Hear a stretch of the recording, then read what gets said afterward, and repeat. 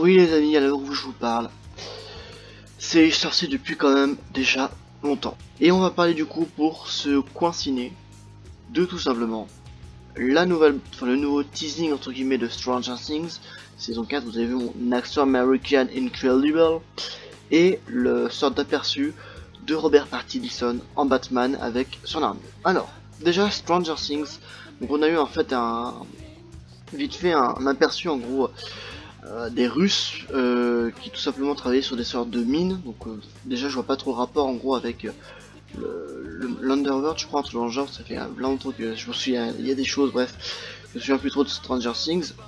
Donc on voit beaucoup de personnes travailler, donc du coup c'est des esclaves. Et donc en fait ça nous spoil la fin de la saison 3. Bon, on se doutait bien que, que Hooper n'était pas mort, mais du coup tout simplement on voit Hooper avec le crâne rasé. Bon après ça pourrait être une rêve euh, c'est la saison 1 dès qu'en fait euh, bah, Mike tout ça est trouvé à Eleven avec le, crâne rasé. Peut-être, je ne sais pas, je n'ai strictement aucune idée.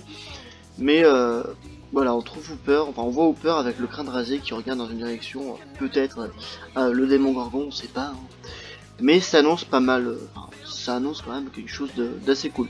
Alors ce point, ce coin ciné va être très très court parce que c'est vraiment juste de news. Alors je sais qu'il n'y a pas eu tout, souvent de coin ciné, mais euh, dès que je vois des infos assez cool, euh, j'ai envie de vous partager, bref, je vous fais partager, bref. Euh, donc voilà pour Stranger Things. après, je crois qu'il y a eu, bon, niveau personnage, je vais pas, je préfère pas trop me spoiler. J'attends vraiment la grosse bande annonce. Je pense que je vous ferai une sorte de review de la bande annonce de Stranger Things.